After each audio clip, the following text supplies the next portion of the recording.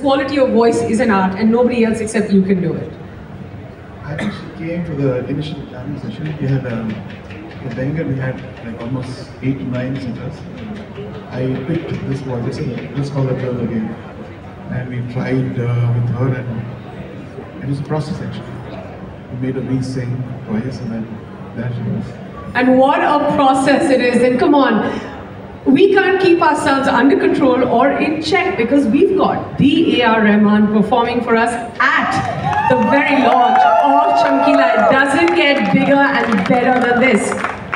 But joining him, दोस्तों कुर्सी की पेटी बांध लीजिए क्योंकि मौसम म्यूजिक को नेक्स्ट लेवल पे ले जाने वाला है because we have someone who's a surprise who's as epic as it gets. Yes um, A.R. Rahman sir को ज्वाइन करने वाले हैं वो एक ऐसी डिवाइन वॉइस है जो आप गेस कर सकते हैं?